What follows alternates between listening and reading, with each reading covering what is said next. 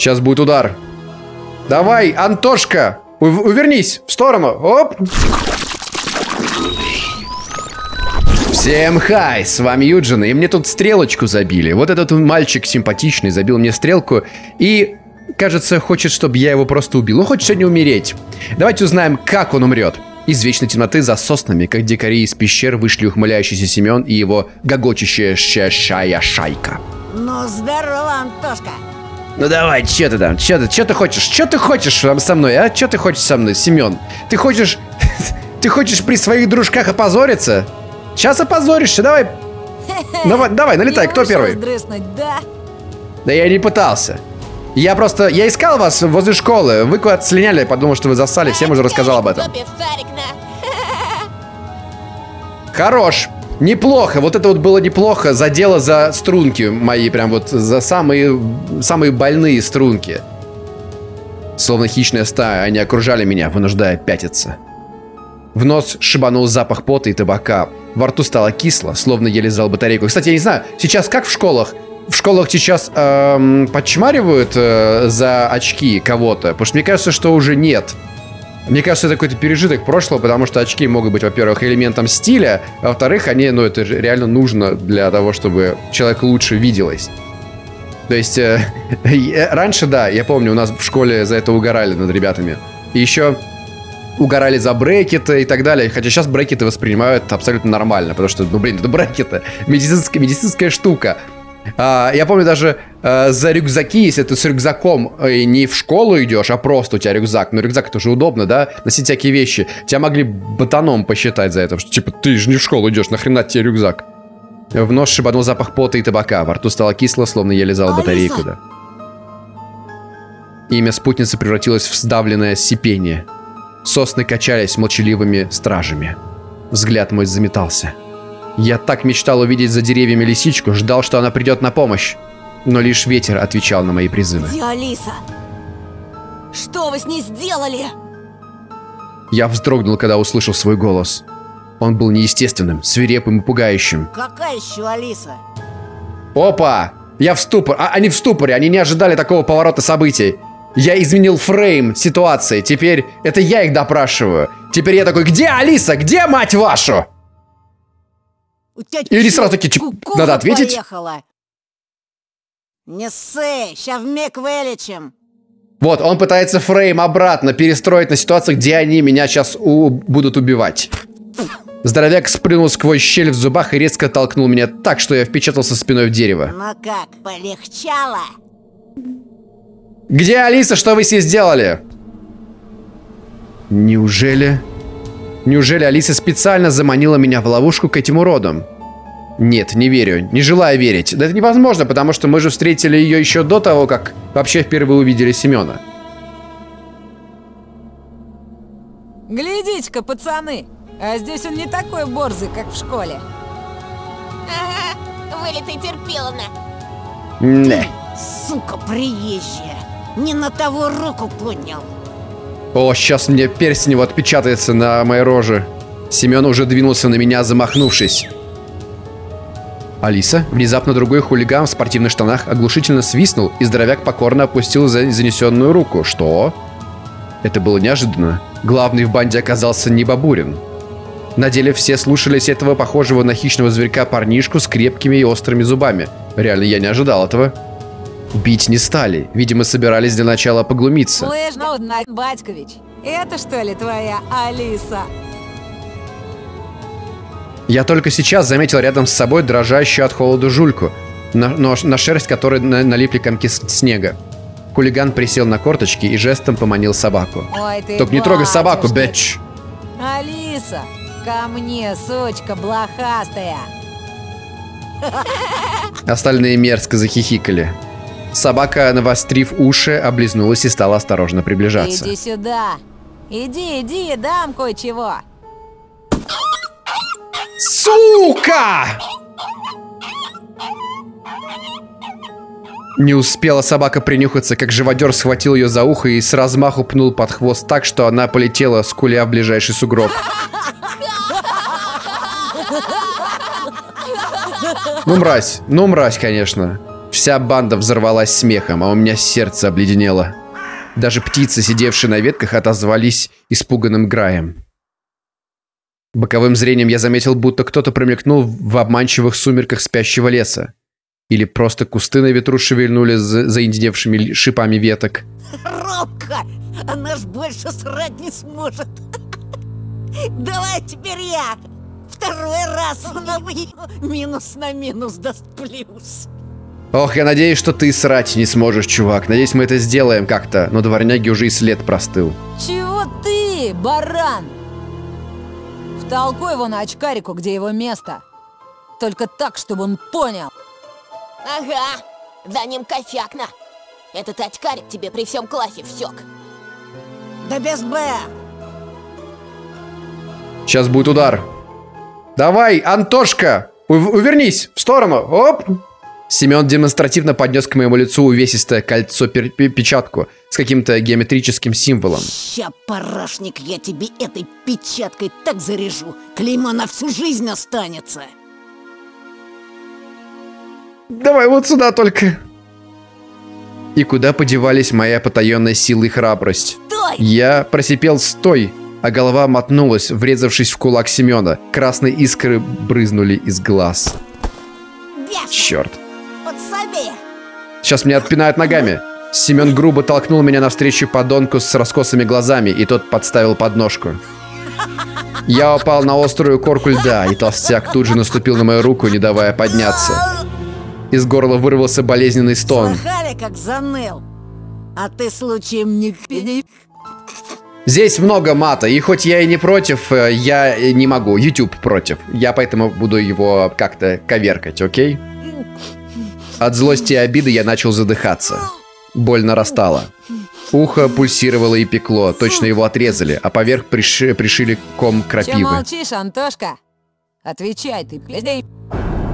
И тут я почувствовал чистую, незаме- незамутненную ярость, концентрант моей злобы. Как чернила спрута, она всплывала из глубин сознания, заполняя все мои мысли. Лори! Эх, Знаете, давай, Антон! Мой... мой отец...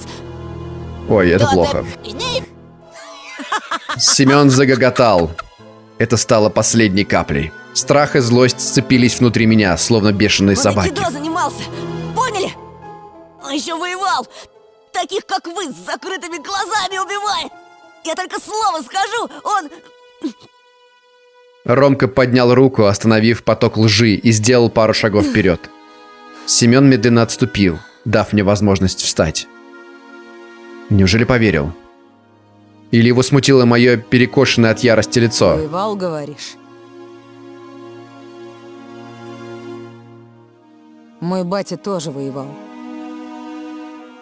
В Афгане. Мой папа тоже, кстати. А твой? И мой. Да, и в каких войсках, интересно?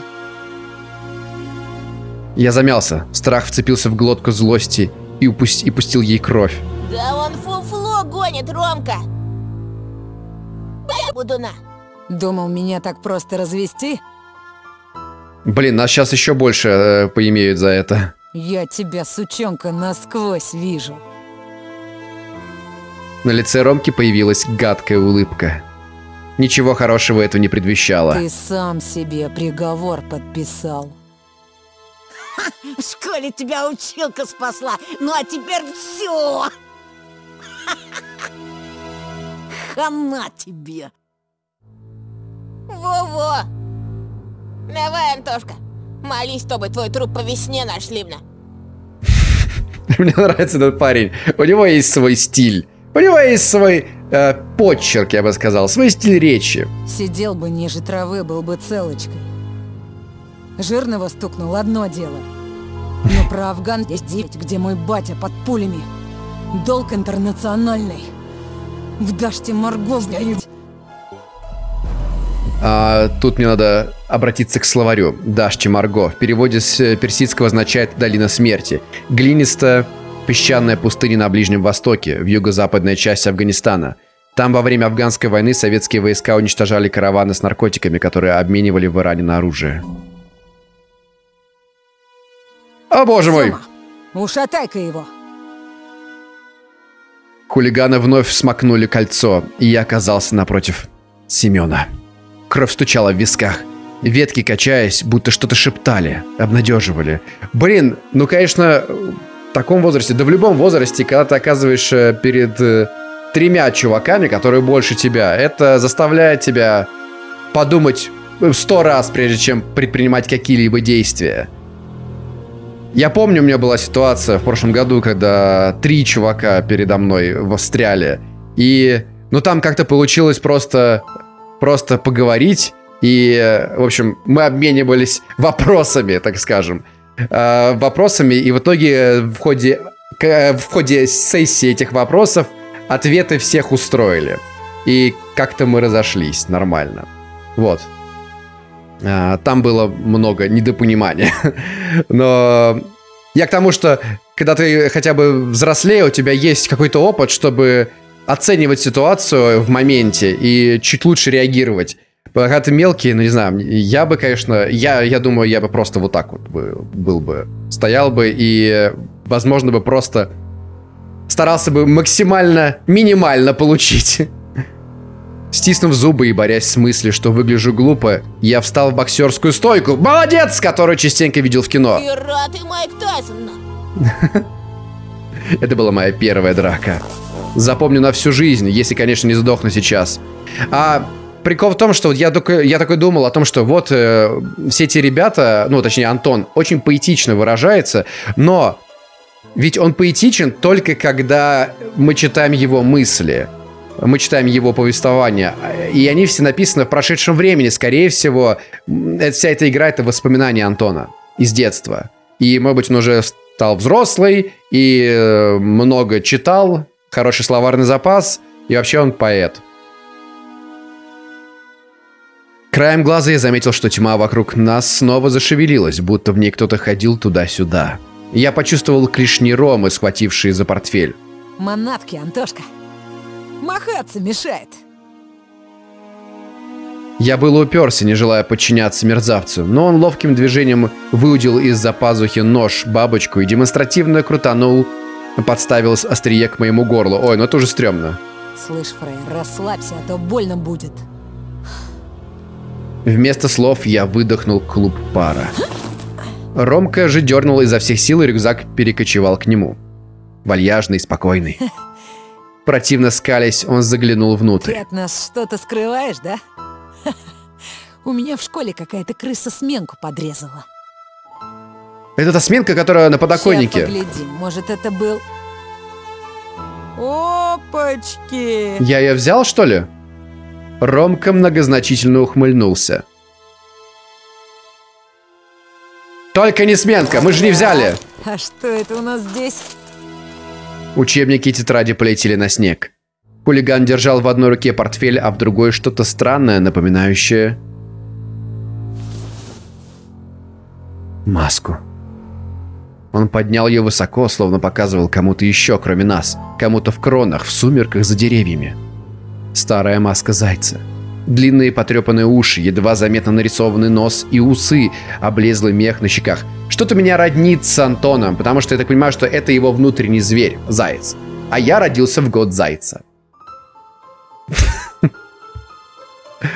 А знаете, забавная штука. Я не верю в гороскопы, э, во всякие эти штуки с картами Таро. Ну, в общем, во всю эту магию. Я в это не верю. Но в эту... Э, это, это угарно читать. Угарно, когда ты слышишь, допустим, ты едешь в такси, и ты слышишь по радио, кто-то там что-то говорит про всякие знаки зодиака, что сегодня вас ждет, и ты волей-неволей такой, ну ладно, расскажите что-нибудь про стрельцов, расскажите, хорошо, послушаю. И если что-нибудь хорошее скажут, такой, ну да, неплохо, неплохо. Но э, это просто прикольно, это как комплимент скорее для меня, чем э, реально, знаете, если, если вы слышите, как тут э, ремонт делают, как там долбят или сверлят, я тоже это слышу, знаете.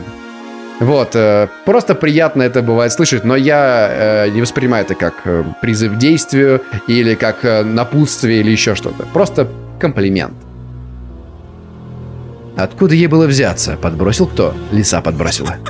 Семен хохотнул. Новый год уже прошел. Или ты реально поехавший? Это не мое! Да Ну, это реально не мое. э? твоем портфеле легалана. Ромка наблюдал за этой сценой, ехидно А улыбаясь. знаешь что? Надевай. О, ты не хочешь, чтобы я надел? Эффект будет что-то типа фильма «Маски», когда Джим Керри надел свою Зачем? маску. Вам не понравится, ребят. Давай, говорю. Попрыгаешь перед нами, зайчик. Давай, давай! Или без штанов домой пойдешь на. Только не это. А если мимо кто-то из нашего класса пойдет? Надену. Сёма, надень-ка на него. Хе-хе. Бяша услужливо подскочил к приятелю, взял облюп- облупленную маску, отвесил шутовской поклон. Затем передал ее Семену, уже потиравшему руки в нетерпении. Я оглянулся на сосны, словно ждал помощи, ждал, что тени, ползающие вокруг нас, сжалятся и займут мою сторону. Ветви напоминали изломанные под страшными углами руки. Почерневшая кора была обварившейся, а, обварившейся кожей, а тьма гарью. Не убегу, не успею, догонят. И тогда... Только учти, Сёма. Если он скакать не станет, ты сам за него поскачешь. Оу, замотивировал Сему. Этот чмошник и не станет? Да погляди на него, он же дурик конченый. Этот дурик тебе уже раз в жбан зарядил. Ромка прав! Господи, у них волчья стая, ре- реально закон волчьей стаи. Максимальное унижение соперника и всегда поддерживать свой статус самого сильного. И даже вот они, у них втроем, среди них троих есть конкуренция определенная. И получается, Рома, как, как лидер, должен всегда этими двумями управлять и как-то их стимулировать. И если они хотят его одобрения, то они должны делать все, что он скажет. Давай, толстый! Восстанавливай авторитетно! Или сам у нас запрыгаешь так, что тетяндра отцепится. Да, да, да, все под давлением. Значит, он и вправду боится Ромку. То есть надо мочить Ромку. Если ты замочишь Ромку, тогда все такие «Оп! Нашего вожака только что смели. Походу, он теперь наш вожак. Все. Вот так. Вот так все будет. Мы должны Ромки всадить внезапно. Он не ожидает, поэтому удар будет сильный от неожиданности. Ам, вот, и он такой сразу ба! Слово упадет. Семен выругался под нос, злобно зыркнул на меня. Вот. Это чтобы маска хорошо налезла. Он смачно харкнул в зяч- заячью морду и поднес маску к моему лицу. А что если сейчас сопротивляться так, что С- Семену не получится нас заставить? А, Семену будет неловко, и тогда он будет бить еще сильнее. Плевок был похож на раздавленного паука. Ромка как-то по-звериному дернулся, скривился, хотел что-то сказать Семену, но промолчал. Сема терся рядом, омерзительно скалясь и опаляя меня вонью из пасти. Надевай, быра! А ты урою!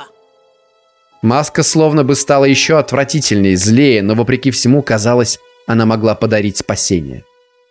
Стать второй кожей, только примерь, только коснись лицом ее твердой бугристой поверхности, и мех засеребрится, уши затрепещут живыми мышцами.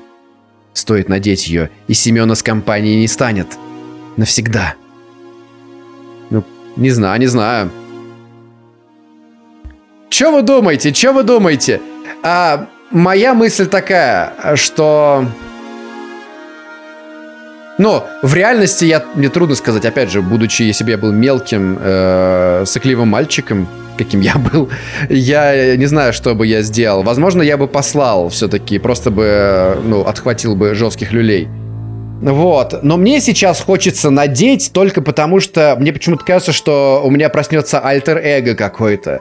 И мне очень интересно это посмотреть, поэтому я рискну. Опять же, если вы не согласны с моим решением, а, а, то, то, то вы не согласны. Надеваем. Я протянул руку, она больше не дрожала. Семен вручил мне маску и злобно расхохотался. Шерсть была теплая, как я и подозревал. Но у меня есть перчатки, я могу просто вот эту вот слюну убрать вот так вот. Вытереть. Так. Так стряхнуть. И одеть, маска будет чистая. Но, может быть, именно плевка мне не хватало, чтобы, наконец, разозлиться как следует. Может быть, оно и того и стоило. Иногда лучше через... Иногда унижение неизбежно, оно даже необходимо для тебя. Иногда э, нужно, чтобы в тебя какашки кинули. Это знаете, как у многих стендап-комиков, например.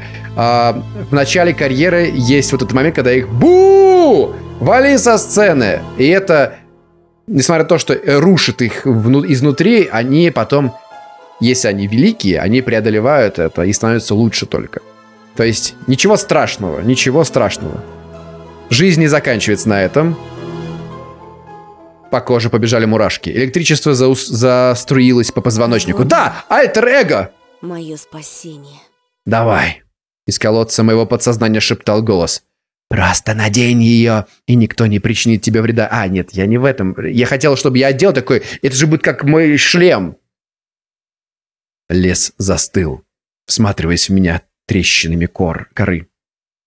Я начал действовать не спеша. Снял очки. Горстью снега стер гадкий плевок. Молодец, молодец. Внутри зайчьего лика что-то шевелилось. Словно пыталась пробиться наружу.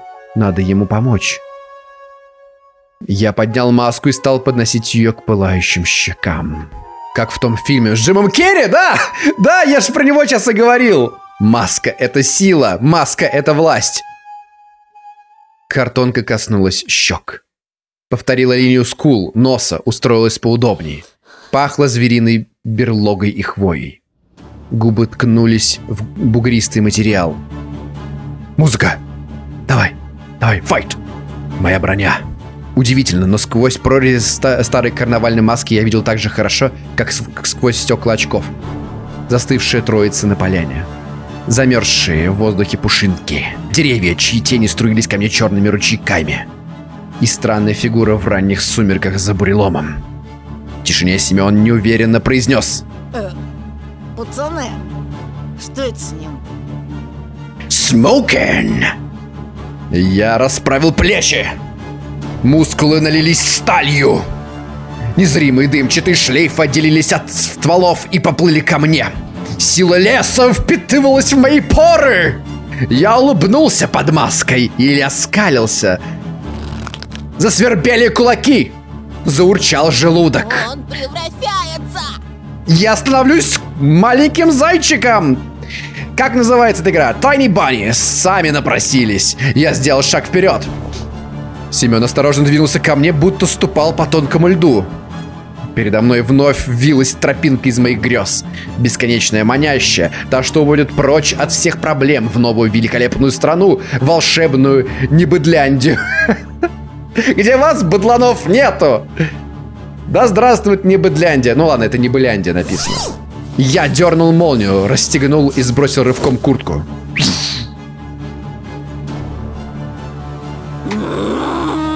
Зарычал. Словно что-то металось под шкурой в поисках выхода. И пошел прямо на Семена. Он превращается! О, да! Твою мать! Да, мои сладенькие, давайте. Превращается! Конченого мудака!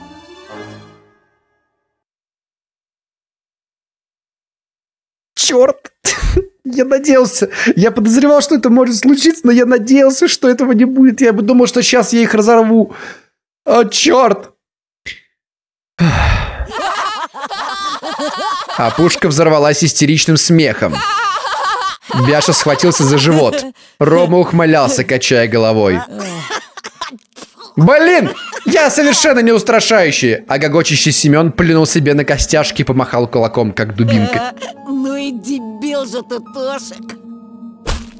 А, кулак врезался в маску. Шерсть не смягчила удар. Не было ни силы, ни волшебного дыма, испускаемого соснами.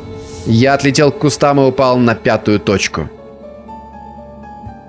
Зрение, обостренное адреналином, снова упало. Вот это был номер. Думал, он на четвереньки встанет и сгрызет нас всех, Я мог бы! как морковку. Ха! Не, ну вы видели, на... Видели? Это считается, что он попрыгал. Это даже лучше.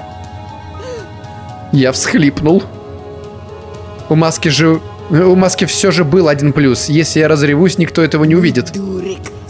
Да тебе в психбольнице место. Психбольница для животных, на! Семен уперся коленом в сугроб и вырвал из моих онемевших пальцев очки. Ты очки! Я домой не дойду! Чё ж, знаешь, какой у зайцев нюх? По запаху доберешься, не ссы. Прыг-скок, прыг-скок. Семен сунул трофей себе в карман и довольно ощерился. Кролики очки не носят. Как это не носит? Как это не носит? Кролик был в очках какой-то. Какой персонаж был кролик в очках? Какой-то был, я не помню. А теперь вали отсюда, Даун. Я, пошатываясь, встал. Деревья размылись в сплошную стену тьмы. Вокруг колебались три размытых силуэта. Черные пятна, глазницы и рты. Только мерещилось, что глаз и ртов больше, чем должно быть. Я повернулся к лесу. Ботинок Семена помог, врезавшись мне в зад и ускорив тем самым постыдный побег. Прыг-скок, прыг-скок! Ничего, ничего, Антон, ничего. Это тебе... Эх. Э, Во-первых, тебя это не убило, помни об этом. Ничего страшного. Пинки все получали, в рожу все получали. Просто это сделает тебя лучше только. От обиды я швырнул маску во враг. Затем пошел зигзагами по просеке, один-одинешенек в огромном заснеженном мире. Да, знаете, потом такие моменты вспоминаешь. Реально же был шанс, был шанс. Даже вот с этой маской ты бы одел ее и реально стал бы свирепым. И уже, знаете, просто вот так вот, па-па-па, дурацким ударом просто бежишь как можешь, бьешь, делаешь что угодно. И пофигу, что тебе, тебя же не убьют. Ну, может быть, и убьют, на самом деле, у нее уже нож был, кто его знает, что они сделают, чтобы сохранить статус. Короче, я не знаю, часто после таких моментов, когда тебя чморнули, ты идешь и придумываешь сотню, тысячи вариантов, как можно было бы поступить, и такой, да, вот это было бы классно, да, вот это вообще крутой был, был бы ход, и все бы так произошло, и так, и так, и так. И в итоге просто еще больше себя как бы унижаешь из-за того, что не придумал этого раньше, в момент, когда это нужно было. Ладно, ну, короче, да. Да. Но ничего, это взросление, это жизнь такова. И в этом не, это не то, чтобы супер прям, ну... Сейчас боюсь сказать что-нибудь обидное. Я знаю, что бывают стрёмные случаи буллинга, когда это прям, ну, совсем, совсем жесть. Но то, что сейчас с ним произошло, вот конкретно этот случай, не такой страшный. Вот что я хотел сказать. Так что можно сказать, что повезло ему. Стволы выгибались, их кроны исчезали во мраке. Небо будто придавли... придавливало к земле. Хотелось плакать, но слезы иссякли. Осталось уныние и тоска, желание зарыться в снег или уйти в Небляндию, присоединившись к Вове и Сенечке. Куда угодно, лишь бы подальше отсюда. Прочь. Но мы дома, хотя бы. В синяках все придем. Так, я не поняла. Антон, а где очки? Потерял?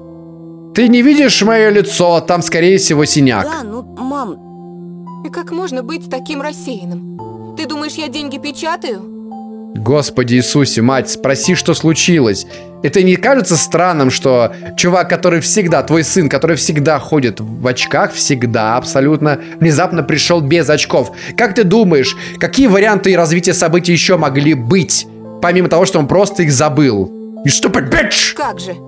Будешь до следующего года в старых очках ходить. Ко мне бросилась Оля. А я лису увидела! В меня словно дробью пальнули. Онемев, я лишь зашевелил губами. Со звоном разбилась в дребезги чашка. Эта мама выпустила ее из рук. Ее лицо было бледным, она растерянно уставилась на осколки. Эта короткая, в доли секунды пауза длилась вечность. Потом мама с досадой сказала. То сова, то лиса. Когда ж тебе надоест? Правда, правда! Такая пушистая! Она у забора стояла на задних лапах, совсем как человек. Это Алиса. Она меня позвала, а тут мама вышла, и лиса убежала. Не было там никакой лисы. Не выдумывай. Ну, можно же легко проверить. Должны быть Не следы. подходи к ней. Если бы понадобилось, я был готов трясти сестру, как тряпичную куклу. Ты чего, Тоша? Не подходи, слышишь? Мама вышла в коридор и удивленно посмотрела на меня. Я стушевался. лиса ведь укусить может. Мне вспомнились детские сказки, в которых лисы воровали детей. Представил свою Алису, вольную, хищную, бегущую быстро-быстро по ночному лесу с дергающимся мешком в Это ж обнимку. была не настоящая лиса. Расскажи ему, Оль. Она на двух ногах ходила, а еще была в платье одета. Только она была в заправду. Видишь? Мама устало улыбнулась, словно это все объясняло. Я тоже выдавил из себя улыбку. Жалкую, как тонкий кусочек мыла перед тем, как оно окончательно растает в руках. Но, оставшись наедине с сестрой, я шепнул. Еще увидишь ее, беги.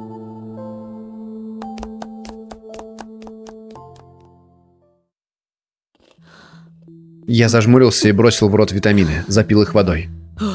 Хватит сходить с ума, пожалуйста, хватит! В пятницу вечером я сидел за уроками. Самое сложное я уже сделал. Оставалось только рисование, любимый предмет. Я тоже люблю рисовать. Только рисовать. Выбора нет. Нужно было изобразить какое-нибудь сказочное существо. Мы рисуем слона? Собаку? Трицератопс. Сначала я хотел нарисовать динозавра, вот только кисточка сама потянулась к оранжевой краске. О, oh, no, no, no, no. Мазок за мазком, и на бумаге медленно по частям появилась лиса. Мое подсознание вырывается. Я думаю только о лисе, будто вылезла из белоснежной бумаги. Встала на задние лапы и хитро заулыбалась. Кисть мазнула, рисуя пушистый хвост, и выпала из-за ослабевших пальцев. Закончив рисунок, я долго и с удивлением разглядывал его. Точно не мог понять, откуда же взялся этот рыжий зверь. Это жутко, это жутко. Вот этот визуал, который он сейчас нам показывает, жутко. Еще этот наезд плавной камеры. Чем дольше я смотрел, тем страшнее казалась мне лисья улыбка. Скорее, меня больше пугают ее глаза. Хищная, фальшивая, напоминающая улыбки женщины из журналов для взрослых, какие попадались за стеклами газетных киосков в городе. О, да! О, это те времена, я помню. Все эти э, киоски, ларьки на каждой гребаной остановке с журналами. Естественно, на всеобщее обозрение были прекрасные эротические и порнографические журналы. Манящая улыбка, маскирующая откровенную злобу. Но я этого не считывал на тех журналах. Все они казались довольно-таки приветливыми, а вот глаза лисы получились красными, будто налитыми кровью. Выглядели они совсем как дырки от пуль, какими их показывают в боевиках. Не помню, чтобы рисовал такие глаза. Я отодвинулся от стола, и свет ламп отразился на влажной краске. Господи, вся эта игра пропитана такой ностальгией. Ну, это прям меня восхищает. На самом деле, я действительно погружаюсь в то время. Рисунок лоснился. Мерещилось, будто лиса следит за мной. И ждет, чтобы... Антон! Ё-моё, бать, ты чё? Ты что, оглох? Я... я задумался.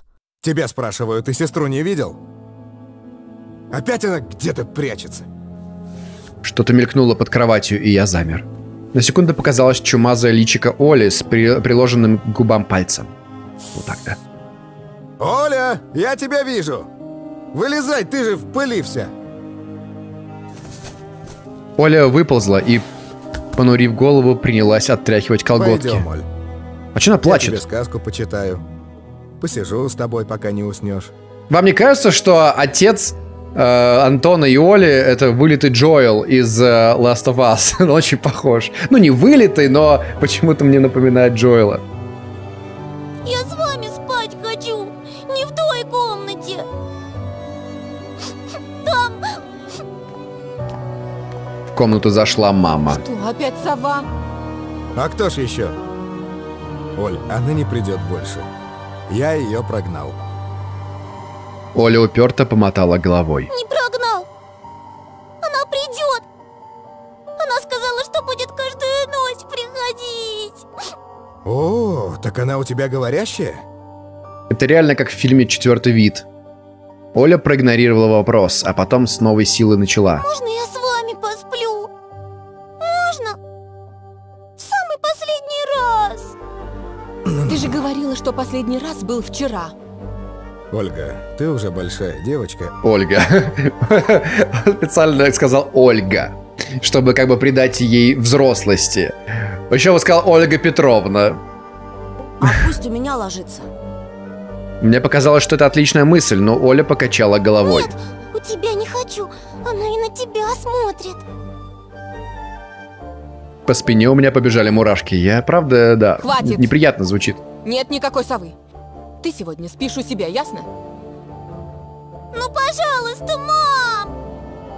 Пожалуйста! Типичная ошибка родителей. Они с позиции взрослого такие «Нету ничего!» Р- И начинают рациональные всякие свои доводы. Такие «Нету совы!» Ну ты, она же не может говорить сова и так далее. Но детский разум-то другой. Мы же все знаем, мы все помним, как э, даже фантазии вписывают себя в воспоминания. И кажется, что именно это и произошло. То есть до сих пор у меня есть некоторые воспоминания, которые я знаю, что точно они не могли быть, а, потому что, ну, они совсем не поддаются логике, но они, э, но они реально были прошиты моей фантазией. И теперь я помню так. То есть надо использовать логику, но при этом маскировать ее под э, миром, который видит ребенок. То есть как-то по-другому попытаться решить проблему с совой. Может быть, придумать какой-то способ, э, типа, это ловец сов, например. Э, ну, что-то в таком духе. Ну и, короче, какую-нибудь штуку придумать, чтобы ребенок внутри своего мира попробовал сделать другие умозаключения. Мама взяла Олю за, ру- за руку и попробовала вывести из Пойдем, комнаты. милая. Не мешай брату. Оля свободной рукой вцепилась в спинку моей кровати. Пожалуйста, пожалуйста, пожалуйста! Не хочу к ней!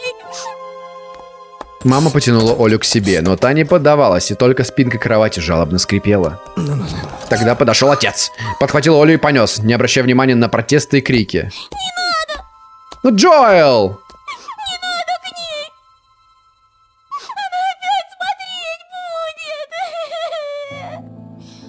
Я еще долго слушал, как сестренку пытаются уложить. В конце концов, родители сдались и опять разрешили ей лечь с ними. В самый-самый-самый последний раз. Когда все стихло, я лежал в темноте и думал об, о- об Олиных словах. на тебя смотрит. Было не по себе. Лишь задернув шторы на окне, я сумел успокоиться. Но стоило мне сомкнуть веки, как воспоминания прожитого дня суматошно запрыгали перед глазами.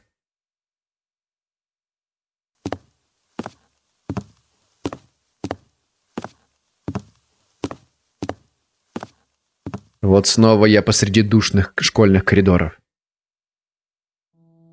Отсюда виден кабинет литературы, лица мертвых классиков на портретах, строгая и царственная поза классной руководительницы Лилии Павловны.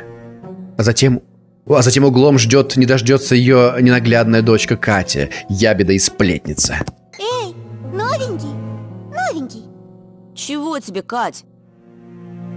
Она закачалась на носочках, спрятав за спиной руки, и с фальшивой улыбкой поинтересовалась. А, скажи, пожалуйста, а чего это тебя к нам перевели, а?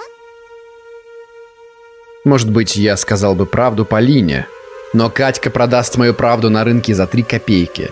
То же самое, что распечатать мои мысли на принтере и повесить рядом с фотографией Вовы, чтобы все читали. Я вновь обратился к заученному ответу. Это все из-за моих родителей.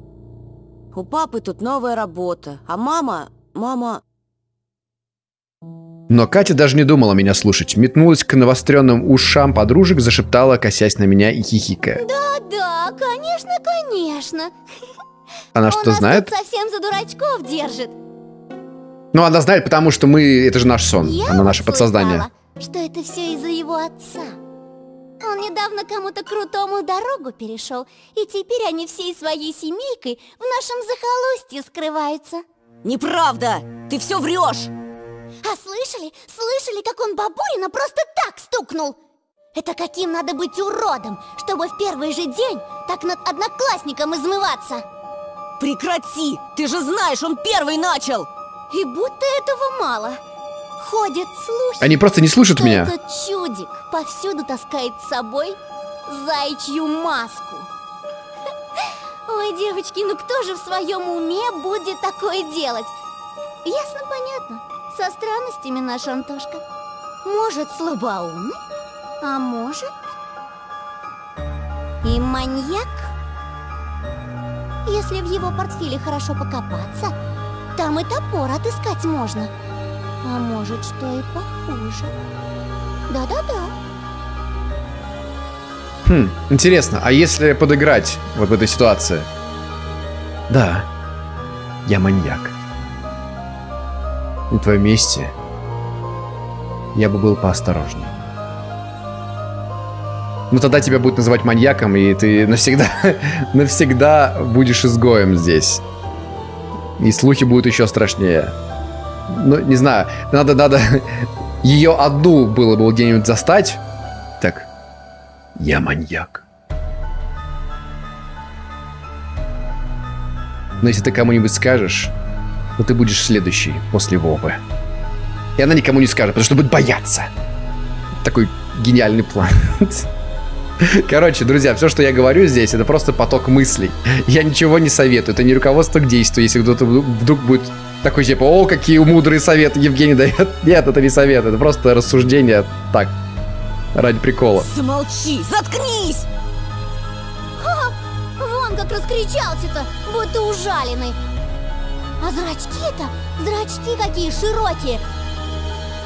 Опять чего доброго с катушек слетит и руки распускать начнет. Не зря же его мать с таблетками пичкает. Я замер в смятении, безуспешно пытаясь понять, откуда она знает про лекарства, и что пугало сильнее. Э, что пугало сильнее, вдруг в ее болтовне кроется ужасающая правда. Да-да.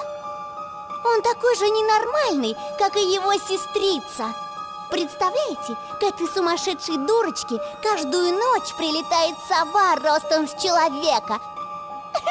Да-да. Только что-то ее никто из здоровых людей не видел.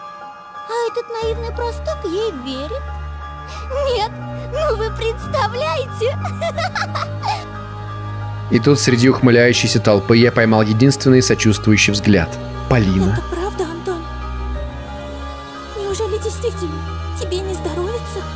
Полина, послушай меня! Как же, как же! Не слушай этого болтуна, Полиночка. Ты еще не знаешь. Он тебя на другую променял.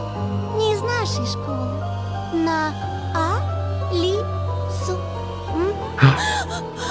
Полина согнулась, будто ее пнули в живот, а потом залилась слезами и громко, истерично плача, рухнула на грязный пол. Но это все сон, просто сон. В реальности она бы так не отреагировала. Ну, типа, они ж только вот первый день знакомы. Ну, типа, окей, ладно, пошел с какой-то другой девочкой. Ну, хрен с тобой. Почему она? Да, но в нашем сне она такая, нет! Почему ты это сделал? Я любила тебя всю свою... Весь свой день школьный. Ничего не понимая, я бросился к Полине, но Катя грубо оттолкнула меня. Убери от нее свои лапы, чудовище! Под пеленой страха зрела ярость. Медленно всплывала из клубящегося морока. Марокко? Морока. Из Марокко. Такая страна. Я почувствовал, как моя верхняя губа ползет к деснам, оголяя зубы. Как зайчья, зайчья губа, да? Он в зайца То, превращается. что твой отец бьет мать, еще не дает тебе права поднимать руку на девушку! Это не рука, а зайчья лапка! А!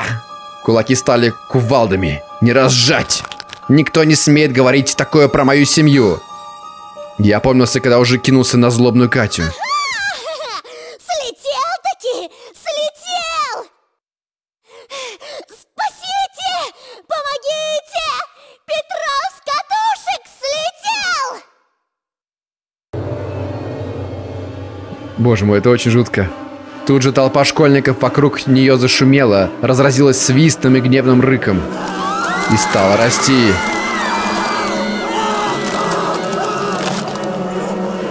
О, боже мой.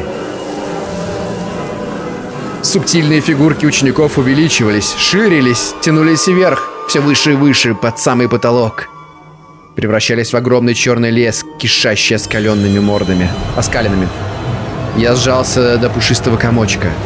Затрясся перед могуществом изрытых язвами стволов. Не то людей, не то деревьев. Вот ты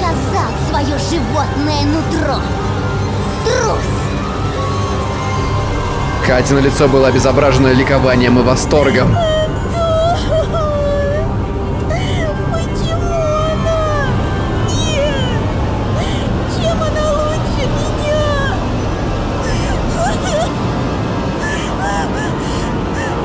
Заливалась слезами несчастная Полина. Ну потому что она лиса, а я заяц. Мы созданы друг для друга. Я хочу оказаться в ее пасти, потому что это назначение зайца в этом мире. Он! Животное! Чужак!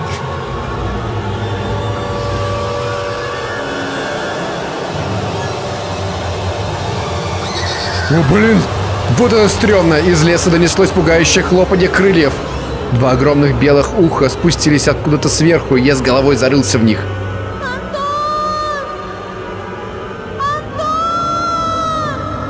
Безумие! Стрёмный сон! Я подскочил, чуть не упав с кровати. Оказалось, я несколько часов метался по мамо- по мокрой от пота постели. Олин крик вырвал, вызволил из щупалец кошмара.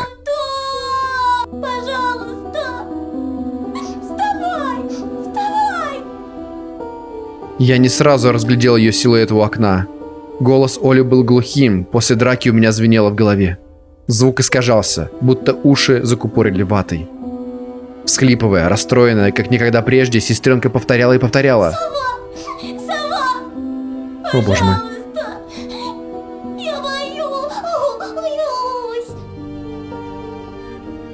Ее слезы кипятком ошпаривали мне сердце, но, признаться, я почти благодарил сову за визит. За то, что напуганная Оля разбудила меня. Оля, я сейчас. Хочешь, я тебе Мурзилку почитаю? А Мурзилка, значит, обратимся к справочнику. Мурзилка, советский журнал, ага. Ну вы стопните, если вам нужно прочитать. Э, Мурзилку Подожди. почитаю. Я опустил босые пятки на холодный пол. Пошарил в поисках очков. Вспомнил Семена, его подлый поступок и горестно вздохнул.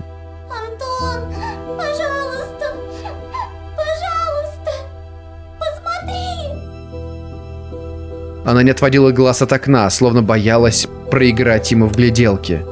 Я нащупал переключатель. Лампа блеснула ослепляющим светом. Встал с кровати. Зрение обманывало, то приближая ко мне окно, то отдаляя. Сестра была размытым пятном впереди. А это и есть сова. Я сделал осторожный Ой. шаг. Что там? Что-то случилось? Ты хочешь, чтобы я открыл шторы? Нет, не надо! Там же сова! Голос доносился из-за моей спины. А! Я обернулся и оцепенел от ужаса. В дверном проеме стояла заревенная Оля. Кем?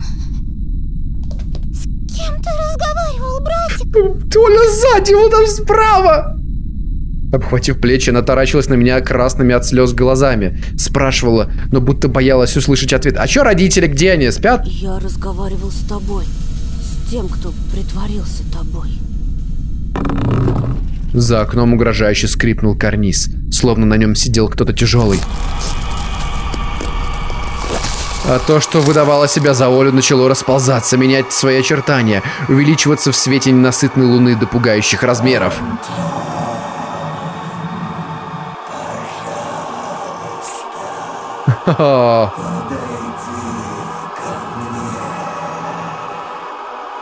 Голос больше не принадлежал сестре. Тому, кто прятался за шторы, надоело притворяться, водить меня за нос. Я больно ощипнул себя, э, ощипнул, ущипнул себя. Я больно ущипнул себя в надежде, что силуэт у окна лишь продолжение ночного кошмара, галлюцинация проклятого дома, ведь они не кусаются. Фигура высилась передо мной в дымке. Я услышал громкий вскрик Оли, когда по стеклу постучали.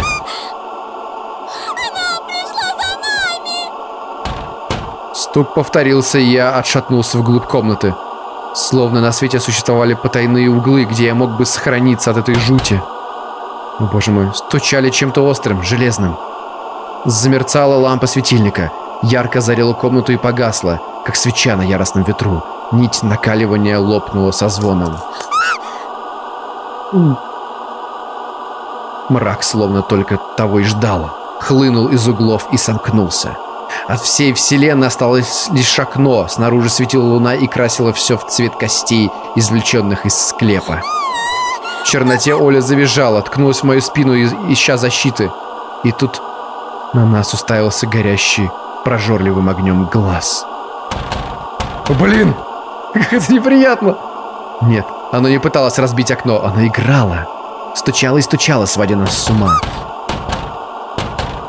Будто гигантские часы мерили отведенное нам время, и маятник раскачивал, раскачивался над бездной. Уходи! Убирайся! Пошла прочь! Господи, как с этим справиться, я не знаю. Где ловец сов? Оля истошно кричала, клещами вцепившись мне в руку.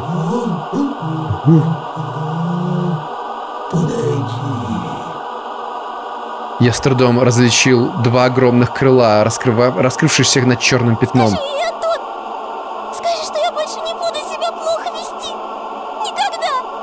Я иду к ней, я подхожу к ней. Пусть она уйдет! Пожалуйста! Лунный свет вдруг померк, погрузив комнату во тьму, и светящийся глаз скрылся. Я проглотил застрявший в горле ком, будто репейник сглотнул. Шагнул к шторам, завороженный призывом безобразного гостя. Не буду, не буду, не буду! «Давай, сделай это! Сорви пластырь!» Блеклое окно напол- наползало на меня. Занавески шуршали. Я потянулся, чтобы отодвинуть штору, чтобы посмотреть в глаза страху. И в этот момент из родительской спальни донесся шум. Недолго думая, я рывком отдернул штору. Никого. Только за стеклом на карнизе среди птичьих перьев что-то поблескивало. Мои очки. Следы! Следы ног! Те, что сорвал с меня Семен. Откуда они здесь? Неужели этот подарок клокочущей ночи? Неужели их принесла сова? Я посмотрел во двор на ту зловещую поляну, на зубчатый гробовой лес. Ни души, ни намека на поздних визитеров.